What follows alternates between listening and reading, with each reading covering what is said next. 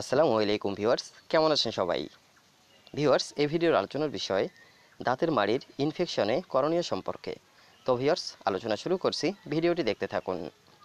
Viewers, দাঁতের মাড়িতে এ ধরনের infection হয়ে ফুলে ওঠা সমস্যা এটি মাড়ির সমস্যার জন্য হয়ে থাকে অথবা দাঁতের সমস্যার জন্য হয়ে থাকে। যদি এমনটি হয়ে থাকে, তাহলে খতিয়ে দেখতে হয় যে এটি কি মাড়ির জন্য হয়েছে নাকি দাঁতের জন্য। ভিউয়ার্স এখানে যে সমস্যাটা আপনারা দেখতে পাচ্ছেন, মূলত এখানে দাঁতে কোনো সমস্যা নাই। এখানে মাড়ির দাঁত এবং মাড়ির সংযোগস্থলে ফাঁকা তৈরি হয়ে সেখান থেকে কোনো একটা কিছু ঢুকে গিয়ে সেখানে এ ধরনের ফুলে ওঠা সমস্যাটা ঘটেছে। এমনকি ব্রাশের দ্বারা যদি আঘাতপ্রাপ্ত হয় মাড়ি, সেক্ষেত্রেও এ ধরনের ফুলে উঠতে দেখা যায়।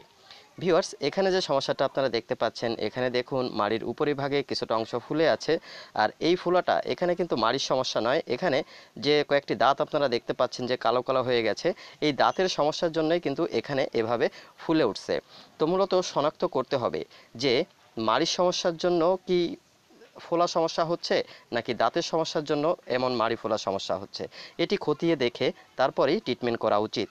তবে ভিউয়ার্স এ ধরনের যে মাড়ির সমস্যাগুলো হয়ে থাকে, এইগুলা সাধারণত দাঁতের এবং মাড়ির সংযোগস্থলে যখন ফাঁকা তৈরি হয়ে থাকে, আর সেই ফাঁকার ভিতরে যখন খাদ্যকণা ঢুকে থাকে, তখন সেটি পচনের মাধ্যমে এ ধরনের ইনফ্লামেশন তৈরি হয় এবং এটি এক পর্যায়ে ধীরে ধীরে বাড়তে থাকে। যদি ট্রিটমেন্ট না করানো হয়, তাহলেও কখনো কখনো এমনিতেই ভালো হয়ে যায়, আবার কখনো কখনো দেখা যায় ট্রিটমেন্ট করানোর প্রয়োজন হয়, ঔষধ খাওয়ার প্রয়োজন হয়। ভিউয়ার্স এখানে একটু লক্ষ্য করলে দেখতে পাবেন, এখানে মাড়ির ইনফেকশন ঘটছে। দাঁত এবং মাড়ির যে সংযোগস্থলটি রয়েছে, অন্যান্য দাঁতের দিকে একটু লক্ষ্য করলে দেখতে পাবেন যে অন্যান্য দাঁতের মাড়ি কিন্তু দাঁতের সঙ্গে খুব দৃঢ়ভাবে আটকে আছে বা লেগে আছে।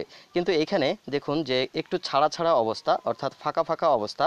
তো এ ধরনের সমস্যা তখনই হয় যখন দু দাঁতের মধ্যবর্তী স্থানে বা গামের ভিতরে কোনো ধরনের আঁশজাতীয় খাবার বা কোনো খাদ্যকণা ঢুকে থাকে, তখনই এ ধরনের মাড়ি ফোলা সমস্যা হয়ে থাকে। তো ভিওয়ার্স এ ধরনের সামান্য যদি সমস্যা হয়ে থাকে, তাহলে ঘরোয়াভাবেই এর সমাধান করা যায়। আর এর জন্য আপনারা ফার্মেসি থেকে অ্যান্টিসেপটিক যে মাউথওয়াশগুলো রয়েছে, তা আপনারা ব্যবহার করতে পারেন। অথবা হালকা কুসুম গরম পানিতে লবণ মিশ্রিত করে কুলকুচি করলে এ ধরনের সমস্যায় সমাধান পাওয়া যায়। সামান্য সমস্যা হলে ডাক্তারের কাছে যাওয়ার প্রয়োজন নাও হতে পারে। কিন্তু যদি অনেক বেশি সমস্যা হয়, তাহলে আপনাকে ডাক্তারের শরণাপন্ন হতে হবে এবং তার পরামর্শ অনুযায়ী আপনাকে ঔষধ সেবন করে নিতে হবে। ভিউয়ার্স এখানে যে ছবিটা আপনারা দেখতে পাচ্ছেন, মূলত এখানেও মাড়ির সমস্যার জন্যও কিন্তু এখানে ফুলে উঠছে। এখানে যে দাঁতটি আপনারা দেখতে পাচ্ছেন, যে দাঁতের গোড়াটা ফুলছে, এটি মূলত দাঁতের জন্য কিন্তু এই সমস্যাটা হয়নি। দাঁত এবং মাড়ির সংযোগস্থলে ফাঁকা থাকার কারণে বা ব্রাশের আঘাতেও, টুথব্রাশের আঘাতেও এ ধরনের সমস্যা কিন্তু হয়ে থাকে। তো এখানে মূলত আপনার মাড়ি ফাঁকা ছিল, সেই ফাঁকার মধ্য থেকে কোনো এক সময় হয়তো খাবারটা ঢুকেছিল, আর তখন সেখানে পচনের মাধ্যমে এভাবে ইনফেকশন হতে দেখা যায়। তো এই ধরনের হালকা সমস্যা যদি থাকে, তাহলে আপনি সেটি ঘরোয়াভাবেই যেভাবে বললাম যে গরম পানির সঙ্গে লবণ মিশিয়ে কুলকুচি করতে পারেন, তাহলে এ ধরনের সমস্যায় সমাধান পেয়ে যাবেন।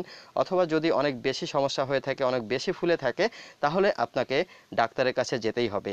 সমস্যাটা যদি এমন হয়, দেখতে পাচ্ছেন অনেক জায়গা নিয়েই কিন্তু এটি ফুলে আছে। আর এমন যদি হয়ে থাকে, তাহলে আপনাকে ডাক্তারের পরামর্শ অনুযায়ী ঔষধ সেবন করতে হতে পারে। তো ভিউয়ার্স, ভিডিওর আলোচনা এই পর্যন্তই। ভিডিওটি ভালো লাগলে শেয়ার করবেন আর চ্যানেলটি ভালো লাগলে সাবস্ক্রাইব করে রাখতে পারেন দাঁত সম্পর্কে জানার জন্য। সবাই ভালো থাকবেন। আসসালামু আলাইকুম।